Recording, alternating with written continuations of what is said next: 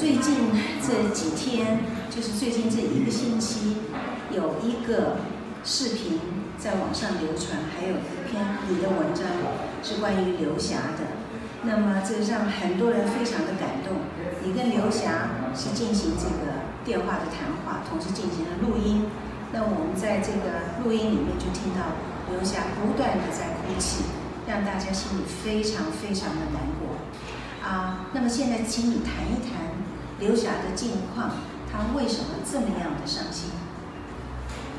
嗯，刘霞的近况，呃，其实德国政府这边一直是在非常低调的这个在运作，他们主主要是考虑刘霞的这么一种情况。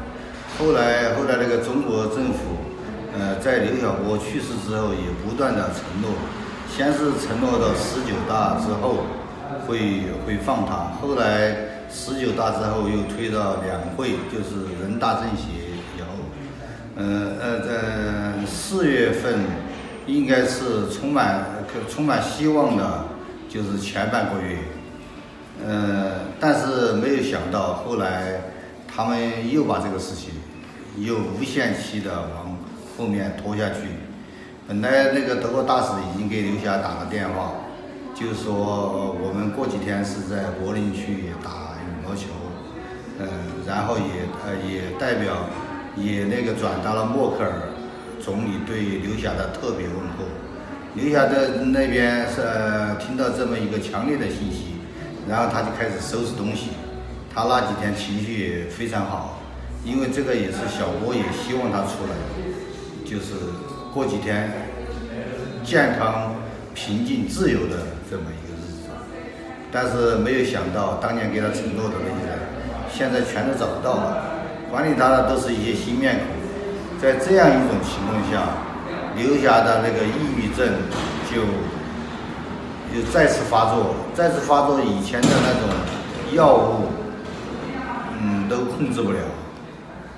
控制不了，然呃呃，而且一次比一次就是这么的加重。那那在这么一种情况下，在那个中国政府又也不断的就是这么就是说话不算话的这么一个情况下，呃，刘霞终于就是这就绷不住了，他就说他要抗争，然后我说你用什么抗争？他说我的抗争很直接。就是以死抗争，以死抗争，我对于我非常的容易。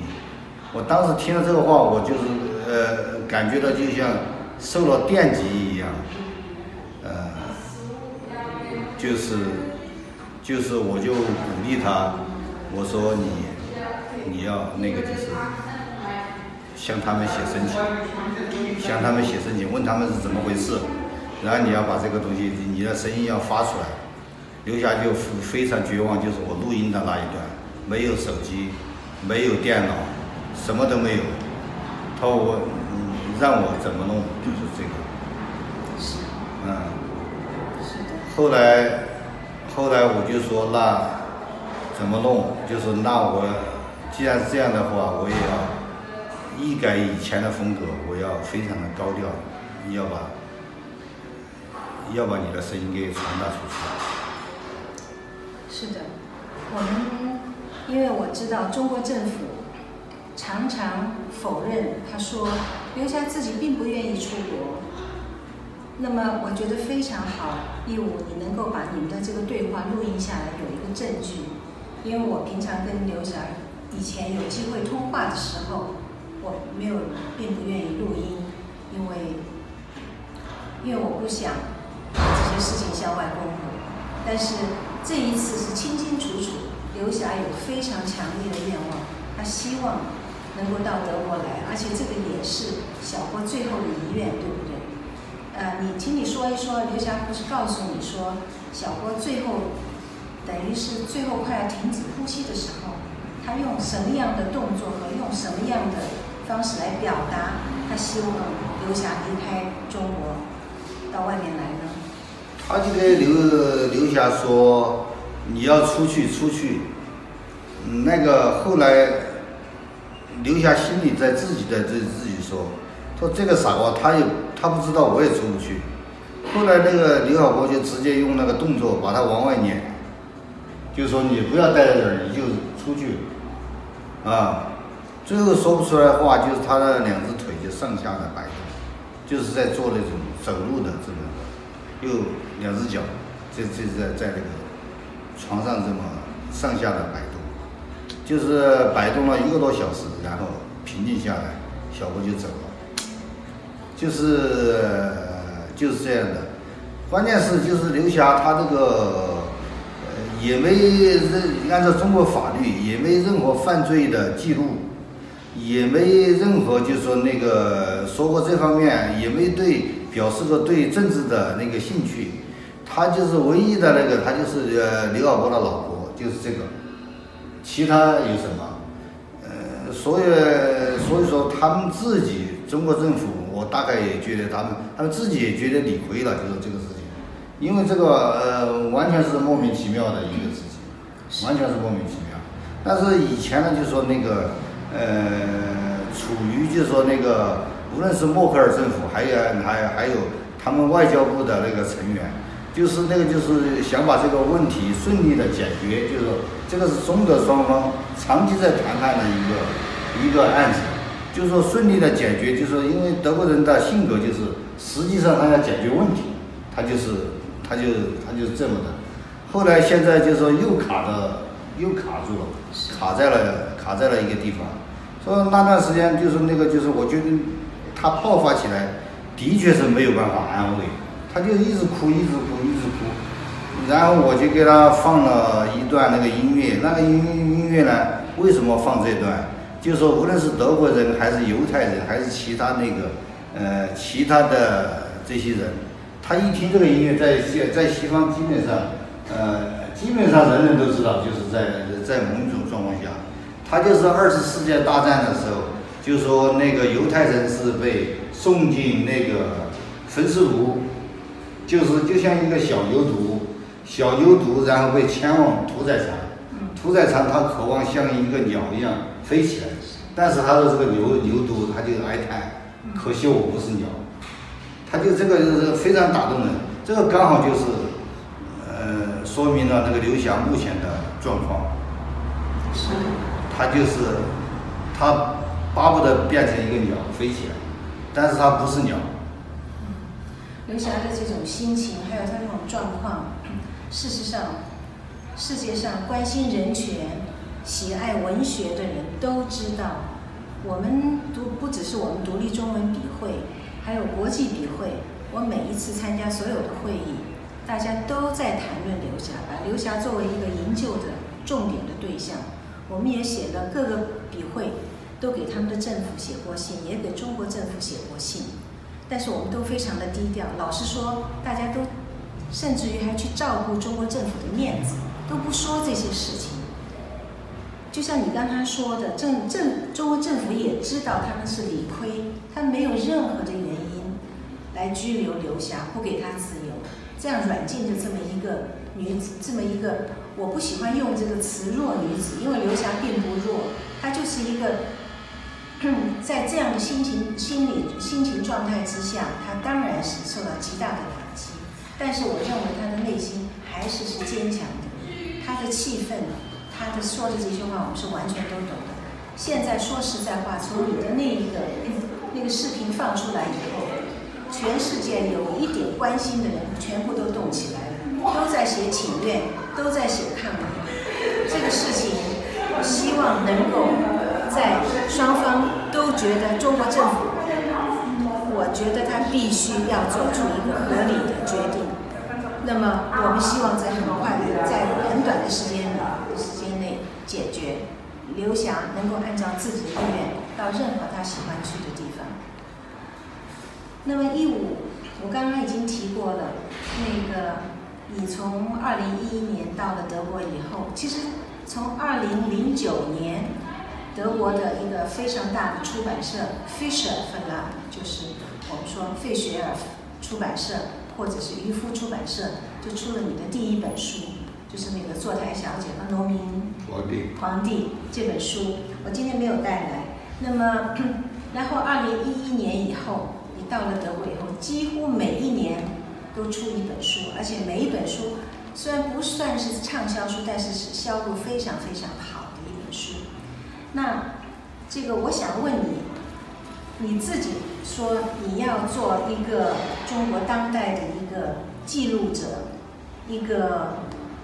录音机这么说，那么德国的媒体也把你称作是一个怎怎么说是一个啊，真的是一个时代的记录者。那那你出了这么多书，你跟我说，你看，比如说你出了那个啊六四就是大屠杀这本书，还出了这个我的证词这本书，还出了这个蚂蚁这本书，还出了关于这个。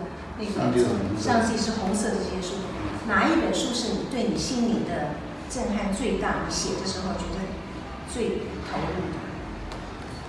我认为，对于我说过一句话，现呃，在中国现实当中发生的这些人与事，远远比远远超过作家的想象，每每超出。比如说，如果说现在现在，我觉得。呃，没有哪一本我写过的书，有我正在经历的，给我震撼那么大。就是从那个去年刘晓波到今年，今年这个这个事情，我是他的亲历者。就是说，以前我认为我的什么，或许任何纸一本，上帝是红色的，然后那个六个的，就是。一首歌和一本首歌，就是我的《监狱之传》，甚至甚至我的这些，我都觉得就是写它的时候，然后把它写完的时候，我都有一种巨大的那个激动和喜悦。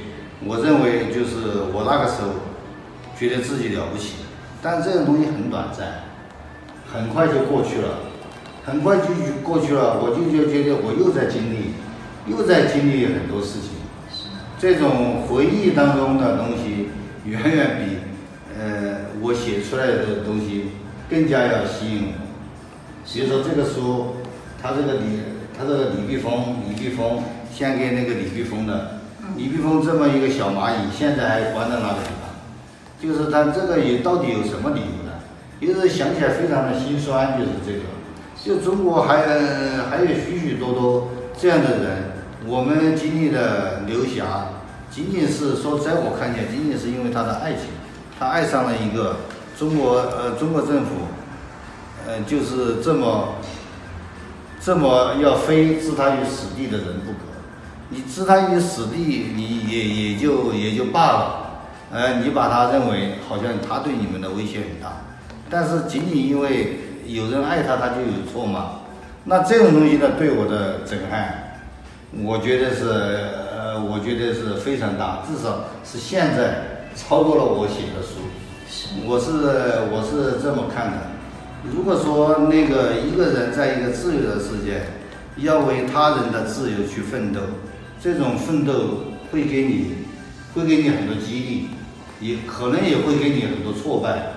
但是这种挫败在长久看起来，它是你的，它是你的未来的素材，它是。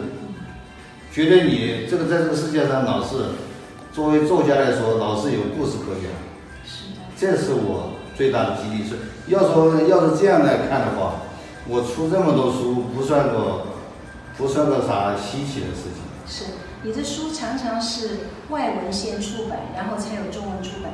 我其中很受感动的一本，当然是这个你在你在监狱经的经历。对不对？就是八九一九八九的时候，和和有关吗？那个不是。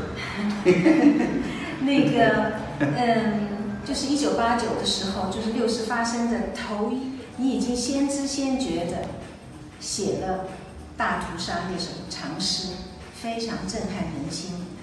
而为了那首诗和随之而来，你跟一些同道们想拍一个片子，叫做《安魂曲》，因为后来就发生了这个天安门大屠杀。那么为此你就坐牢坐了四年，跟你一起合作的一些人，有的人判一年，有的人判两年，但是你坐牢坐的最久。那这本书是先出德文版的，叫做《一首歌和一百首歌》。那那是里面的一个故事，是事实上就是我的证词。我的证词就是是你写的，就是你在监狱里面的那个整个的这个经历，我觉得非常非常。一方面令人震惊，一方面非常动人，因为你毫不隐瞒的把这个人性里面的各种阴暗面都写出来，但是也有好的，你也从来不隐藏自己的缺点和自己有的时候的一种胆怯、愤怒和一种无奈。还有无聊还有无聊。那么我觉得非常非常，这本书对我的震动是非常非常大的。那嗯，现在就是说。我相信很多人也是非常喜欢这本书，但我想，现在回想一下，你觉得中国今天的监狱里面还是会是这样的类似的情形吗？比如说，请你一进来先给你一顿一顿下马威，把你痛打一顿，然后请你给你上菜上一百种菜，这种事情还会有吗？这种这种中国在这方面它是一个黑洞，嗯，就像。就像那个前苏联出了一个索尔仁尼琴，在他在他用这个呃，在他用群岛这个概念来形容中国，形容那个苏联的这么一个劳改体系之前，嗯，那个没有没有人可以有一个可以触摸的一个东西，他的那个功劳就是说让这种前苏联的黑幕就是变成了一个那些文字。呃，那个可以触摸，甚至变成了每一个就是那个黑暗的一个代名词。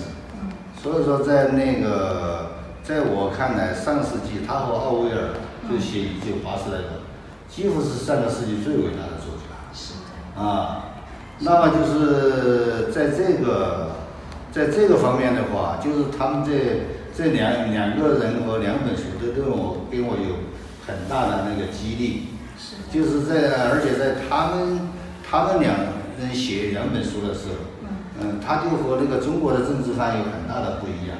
他们就是对那个人性的妥协，包括就对自己的那那种那种非常的犀利，他就是这个。所以，所以说专制，他就往往是他是利用了人性的一种弱点，人性的一种黑暗之处。甚至人性的一种恐惧，呃，那么就是就像这些的话，在这本书里面显示的比较充分。是，我觉得，因为人在这种压力之下，他的人性的弱点更容易呈现，但是也里面也有很多非常动人的地方。这种人性的弱点，刚好就是人性的可爱的那一面。我觉得你把它。写的真是淋漓尽致，非常非常的好。那么你今天到科隆来是为了这一本书，就是写你怎么样在二零一一年七月份七月二号逃离了中国，这是一个非常漫长的过程。你可不可以跟我们稍微解释一下，为什么是这个时候？因为在二零一零年呃九月份十月份的时候。你是第一次来到德国，对不对？你曾经申请过十四次要出国都没有成功，最后你给默克尔写信十五次，然后最后成功就到了德国。但是你在那个时候在德国待了六个星期以后你就回去了，回去以后又经过了半年时间，为什么你那个时候你决定要要离开中国，要逃离中国？嗯，原来原来我要回去，我是认为我是认为，呃，小波他也得了诺奖了，那个刘霞有又那么快的见了，我认为中国会变好，有一个完全错误的这么一个估计。所以说这种这种错误，后来我觉得犯的几乎是无法弥补。不是我当时接触了黑社会的话，就是那个云南那些边境上的黑社会的话，就是也不一定就是逃得出来。当时因为因为那个天启你是呃亲历者，德国的就是这本书的呃那个期限出版期限也是在不断的延后，然后台湾那边廖志峰那儿也在不断的延后，然后美国那个上帝是红色的。他们也不敢出，所以就是完全是卡在那个地方了。就是说，然后警察又这么就在威胁我，就是说你如果说你要一定要出的话，呃，出这个在海外出书，最起码。就是出这一本，对对，呃，那个我的证词就是写他的监狱经历，他们就是不愿意那本书在德国出版，对不对？啊，不愿意他在德国和台湾，就是这个，他们他们。他们好像是通过那个往来的电子邮件知道了这个事情，啊，其实他们在我家里来搜过一次，想把那个合同书给收出来，结果那个活动说那个不是在你那儿嘛，就是在你那儿，而且那个廖志峰也没寄给我嘛，刚好就没有。是。我说就是口头意向。还有那个时候的整个的局势是比较紧张的，你记得吗？是有那个茉莉花革命的事情。对对对对。这是原先我们。在头一年的秋天，根本不能想象的事情，对不对？对对对，茉对对对茉莉花，包括那个于杰那个那年春天，呃那年过年还在我这儿来，他把他这个他这个衣服撩起来，这么大一块全是污的，就是那个，他也被打的，啊，然后那个呃滕彪也也失踪了，那个冉云飞也失踪了，就是这个毕竟是黑头条嘛。当时那种情况，不逃出来，真是，真是的，真是很悬，就是，真是很悬。不逃出来的话，真的有性命之忧。而且你决定以后，我们有一些联系的方式，你告诉我之后，我心里非常的害怕，我也怕，因为我我对于那种边界的情况不了解嘛，我很怕人家把你用那个黑头套一套把你。让你永远人间蒸发，谁都不知道要你到了哪里去，这种事情是可能发生的。结果呢，你把这个非常惊险，但是你又用非常幽默的这种口气的这种语调和把这种细节，还有这些人物，你在那么紧张在逃命的时候，你对每一个人的这个观察都非常的细致。什么一个胖大妈了，一个什么一个美女。一个美女，什么服务员啊，什么什么计程车司机，都描写的淋漓尽致。你这你这一路的逃亡，是就是说对你来说，并不算是第一次，对不对？你已经有了一些经验，你可不可以跟我们说一说呢？他他那个昨天昨天在那个另外一场那个朗读会，刚好是有一个德国人还问过这个。说你这个写的这么幽默，他说是，你这个是是一个，他说他不是不是太理解，能够把这个这么紧张的事情写的这么幽默，呃，我说这是一个四川人的一个特点，那个幽默下面往往是掩饰着那个恐惧，有的时候他内心害怕，也用开玩笑的那个方式来缓解这么一种害怕，嗯。呃，所以说那个这一路其实就是一直都在开玩笑，一直都在开玩笑。但是那个每一步都很悬。比如说我第一次出那个广西海关，他们那个把我给拦住，拦住的时候，那那边就打电话来，就是要没收我的护照，没收我的护照。那个人就在跟我就在一边拿着一边看，他就在旁边，我一把就给他抓过来。抓过来就直接往那个裤裆里面塞，塞塞进去就死死把给抱住，因为这个就是不太容易弄得走。后来后来他们就是几个人扑扑过来要扒拉这个裤子，要把那个要把那个要把那个护照给拿去嘛。我就在那儿一边就是把那儿就把那个当护照，一边就是要打死人了，打死人了。然后他呢，他才没有弄。后来我看成都那边又打个电话说这个事情办成没有？他说我们是边防武警，我们负责是拦截，不负负责这个没收护照。就就是就就这个，他说我们有我们的那个职责范围，所以说这个肯定搞错了。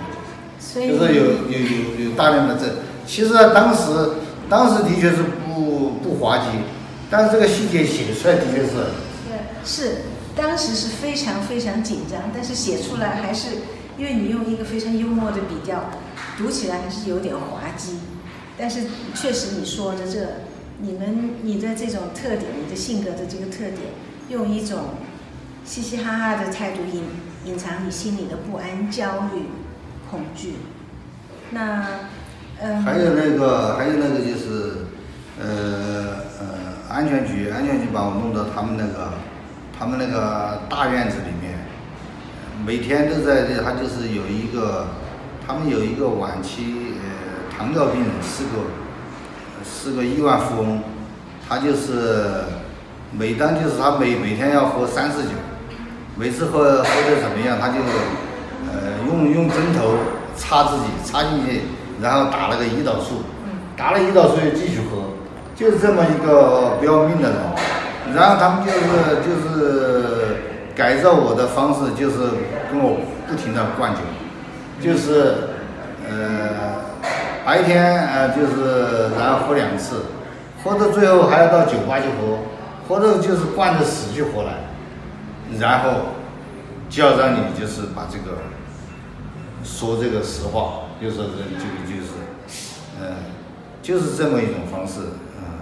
是。但是那个过程就是喝的吐啊，喝的那个就是要就是滚在地下，像一个赖皮狗似的，这是活成那个样子，当时是比较痛苦，但是写出来也不能否认，写出来是比较滑稽，就是这个，虽然很痛苦，但是写出来就是这个样子，嗯。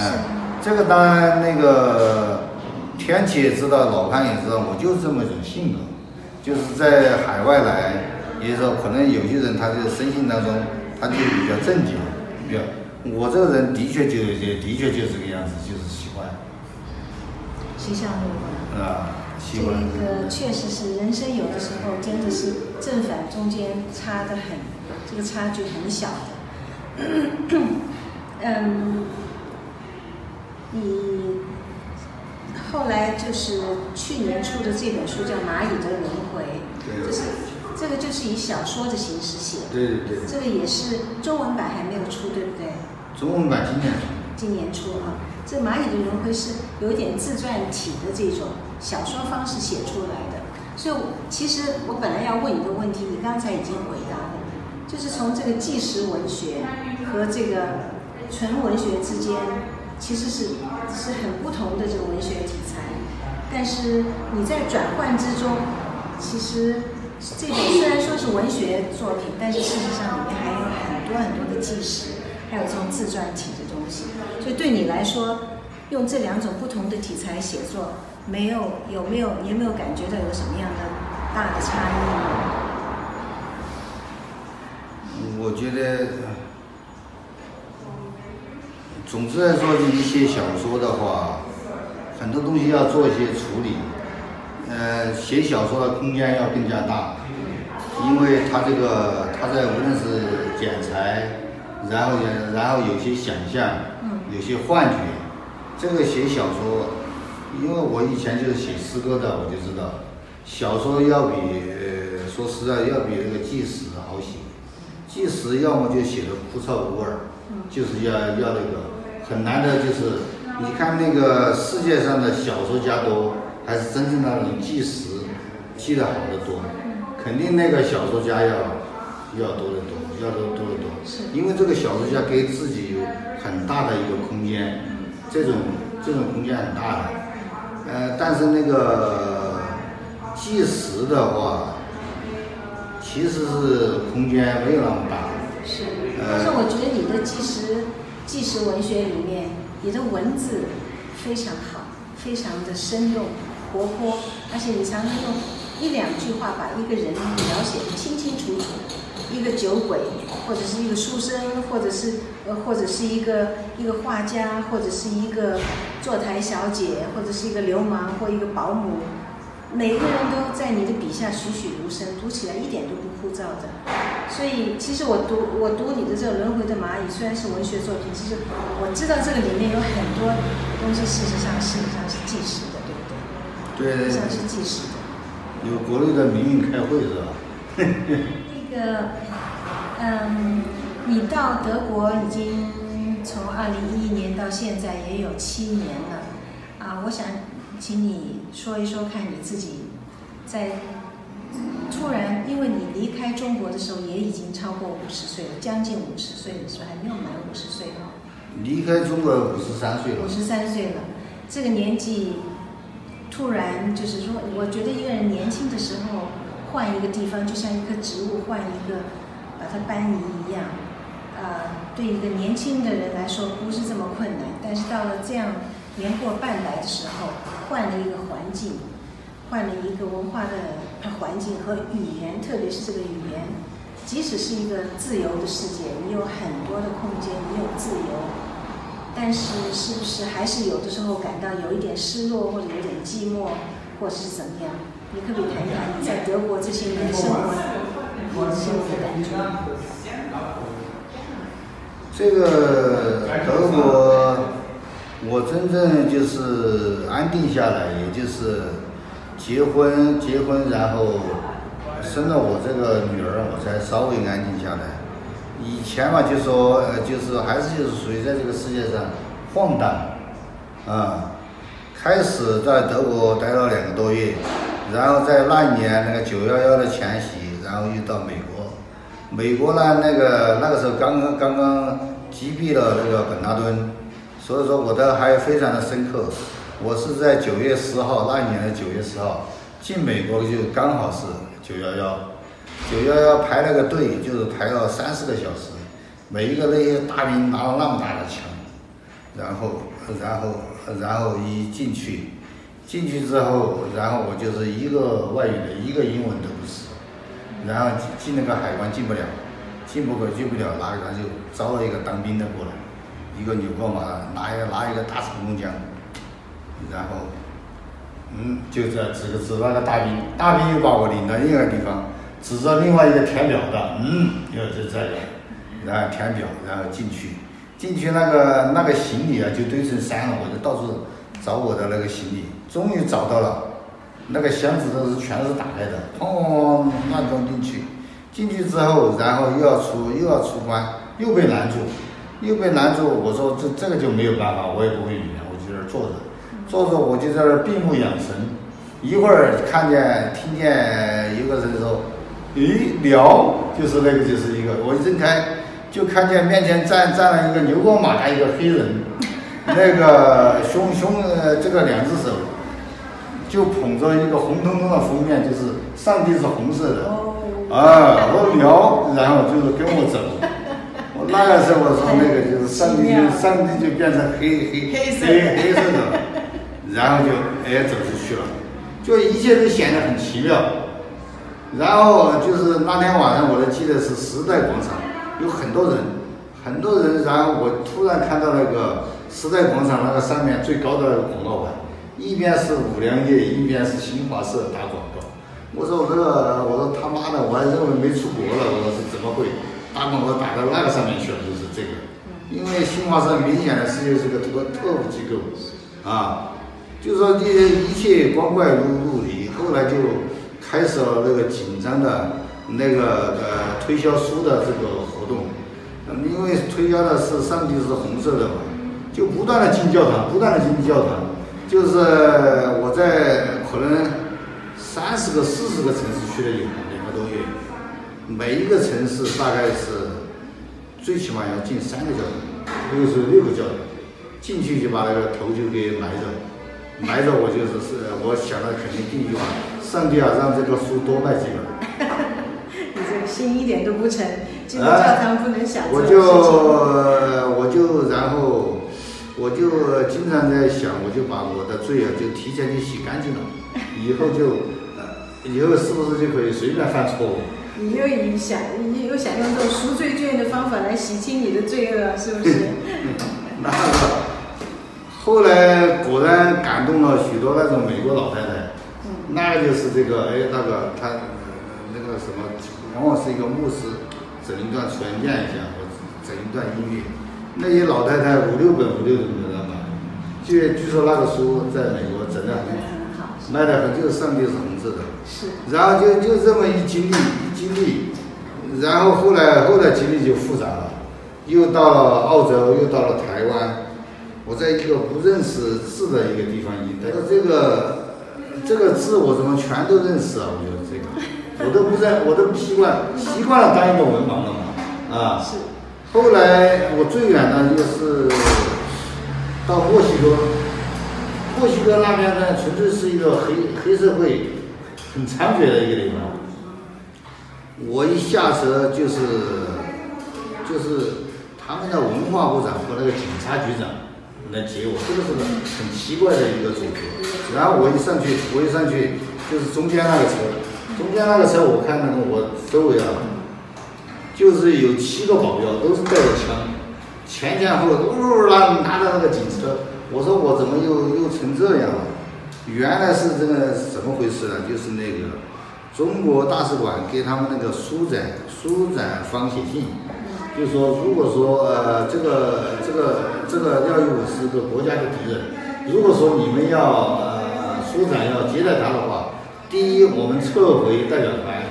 第二，我们就要要什么经济制裁？墨西哥人根本墨西哥根本就没经济，就是这个还谈啥制裁？根本就不要你这一套，就说。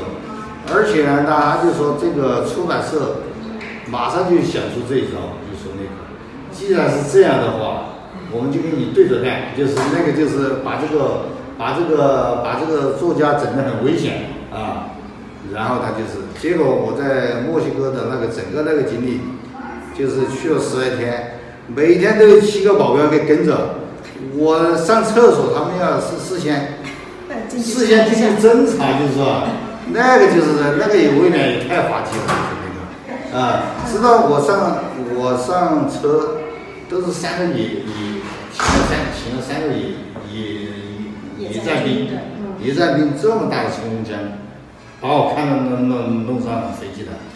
就是这整个经历，就是这个，就是太太太魔幻了。这是这是中国赐予你的荣誉啊！他说他把你定性为国家的敌人，国家的敌人就应该受这样的待遇啊，对不对？那就是。我觉得这个非常的精彩，你每一次一开口就有一大堆的故事出来，我觉得也是。我还带我还拿着平台拿了这么大两把枪来照了个相，还跟野战部队迎上飞机，给三个兵照照。很 棒，是你现在说的是你在那个到不同的国家去为你的那个新书啊的那个去发布的时候去的这些经历，在美国你还跟我说你在美国观察到一个很特别的一个情况，我觉得很值得一提的，就是说你发觉有不少的这种中国的贪官，对对对对对，拿了大批的钱在那边当义工。这些是这些情况，你经历过这些人，这些人也进教堂吗？也进教堂，也进教堂。那个那那个那个林培瑞教授跟我说的，就是他们在在那个在那个就是什么洛洛杉矶那边，对，洛杉矶那边还还有个中国的二等城嘛。对对对。他说你要要见经过呢，对二代城。对对对对，有有有有。是。所以呢，中国的这一些劣习，中国的这些恶劣的这种。这种事情现在已经到了外国了。义务你说的很对，洛杉矶那边有一个地方是二奶城，我知道，我经过那个地方。经过那个地方。是是。那你说的是你的这些经历非常的精彩。那么在德国这几年的生活，你觉得怎么样呢？在德国其实你是非常受社会注意，而且非常受欢迎的一个作家，是不是？对，原来有一个误解，就是说。呃，就是说，我觉得离了离开了母语的国家，一个人可能就是没有办法写作。嗯嗯，其实那个情况完全不是这样。我觉得那个自由，自由对于我这样的人，这样在中国生活了五十多年的人，能够能够非常大的刺激我的一个创造力。这个这个也是，就是说他们那个呃，连赫赫兰蒂的卡洛琳他们都比较惊讶，就是这个。嗯嗯，呃，他说那个。在这个德国的外国作家当中，我们还没有找到第二个，出了这么多的，出了这么多这么厚的书，就是这个啊，嗯，所以说呢，呃，但是还有一个动力，就是说我在虽然说我不是太关心政治的这么一个人，但是现在的的确我的一些朋友。要么是在坐牢，要么就是像刘晓波这种在死去，要么就像刘霞这种，就是那就是这么一种状况。嗯，这个是以前我是在国内，呃，我就我就觉得就是呃，好像我和他们是一起在承担这些。现在我已经到了一个自由的世界，我自己倒是没有什么问题，但是朋友的这么这么一种。惨境这么一种不自由，这个这个对我是蛮有刺激的，就是那个，你如果是不去努力，你这种东西它会折磨你。你你本来你在国内国内就和他们在一起，就像你有些人都像你的家人，而且你在受苦受难的时候，别人也是在支持你，就是在那个国内嘛，就是就是那么那么一种。你要包括刘刘霞、刘晓波，我流浪到哪个地方去了？离婚的离婚那些造成的那些，令他们也不很不安啊。就是这个，就是大家都是都这么一种。然后刘霞说实在的话，就是那个录音给我的那那是刺激是相当相当的深的，因为就是我平常在国内，以前在国内和他见面的时候。哪见过刘霞这种状况？完全就像一个被宰杀的一个什么？是。这种东西，那么就说对于我的这个未来的创作这一段记忆，这一段记忆，那那就我觉得也是，也是一个经历。说的残忍，也是我的一个财富，也是有我是也是我的一个财富，也让我意识到。一个作家不应该那么自私，那么只为了你去你的出名，你的那个就是去怎么怎么样，就像那个什么，就是现在国内很多作家一样的，你的确有些时候你要去为他人的自由，你要去奋斗，是，而且你不要怕别人说什么，你就说你是一个不是个纯粹的作家，就是个意义作家。一个人干嘛不可以说出自己的意念？我本来就是那个，本来就是某一程度程度来说，我这说的很肯定。我第一是有我的政治观点，我有我是个异议分子，然后我才能够被称为作家，这是我的一个前提，也是很多人的不自由，给我了这么一个东西。你说的你说的很好，你的出逃就是这本书里面你也提到，你的出逃牵连了一个人。而且这个人是一个很了不起，我很佩服。你在那个那个我的证词里面已经写了李碧峰。啊。你看你出逃，结果中国政府迁怒于他，说他帮你出逃，所以把他判了十一年。他现在还在监狱里面。那你为他做了，在国外做了很多很多的呼吁。我知道，我们大家都参与了这些声援的活动。但是有什么用呢？他还在监狱里面。所以你刚刚说的这个，我心我完全能够懂你心里的这种不安、这种痛苦，还是以前的痛苦，这些伤疤事实上是没有痊愈的，而且一直发生这么多可怕的事情。你看刘霞这次事情，刘霞事情又像你当当年的那个情况，比比你当年更惨。他们那个就是我和一些呃挺好的朋友讨论的时候。讨论这个这人类关于遗忘、关于记忆，像这些问题的时候，就是现在也有相当一部分是这么一种观点，认为哪怕就是刘晓波在中国也没没几个人知道，因为那个就是那个中国中国呃中国共产党的这么一种封锁，那么呢，这么伟大的这么一个人物，也会随着时间的流逝而渐渐的淡化，渐渐被人们遗忘。就是就是那那这个持这种观点的人，呃，反正我也我也不说他名字，而且是相当一个群体是这样的。所以说，整个就是他就是被一个被一种历史的一种虚无主义所笼罩。但是我经常我在辩论的基点中，我也不敢担保李奥波是不是被遗忘。但是你，我就说这个人，我说你作为他的朋友，我作为他的他的朋友，如果李奥波这终究会在历史的某一个时刻、某一个什么一，然后被抹去了、被遗忘了，你我是不是有责任？你是有责任，你应该是问你自己，而不应该问别人。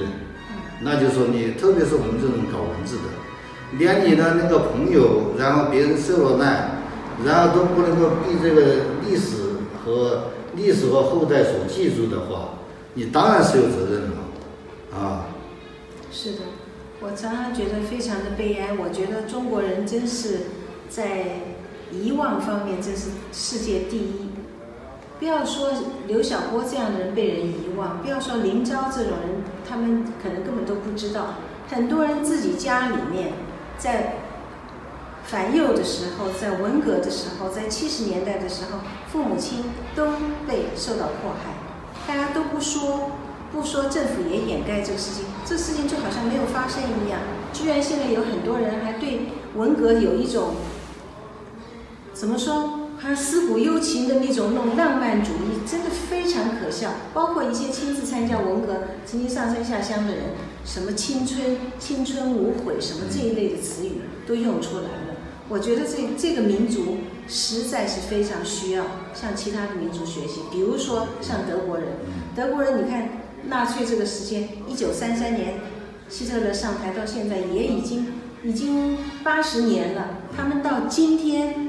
还在检讨自己的罪责，民族的罪责。每一个人，连年轻人都觉得自己有责任，这种态度是我们应该学习的，是不是？所以，我所以我觉得，义务你做的这个，你的文学工作，你的这些作品，对于保存中国人的历史，还有特别是这种历史的记忆，是非常非常重要的。啊，最后呢，我还有一个也也不是问题，我觉得很。很有趣的，就是说，你比如说，你把李碧峰形容成为一个蚂蚁，你的小女儿今年三岁多，你给她取的名字是小蚂蚁，她的名字是小蚂蚁，她的名字是书蚁，读书的书，蚂蚁的蚁。这个蚂蚁对你来说是不是一个中国人的象征呢？那是一方面是中国人的象征，另外一方面，它是一个卑贱的一个象征。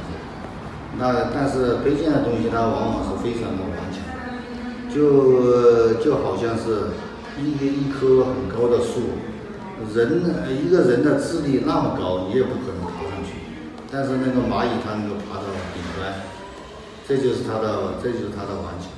是，这个蚂蚁它的两面性，它的它的卑贱，但是它的高贵和它的坚强和着它的坚持，这是很很特别的。那我想，我们今天的谈话就到这里为止。今天晚上我们还会见面。哦，谢谢，再见。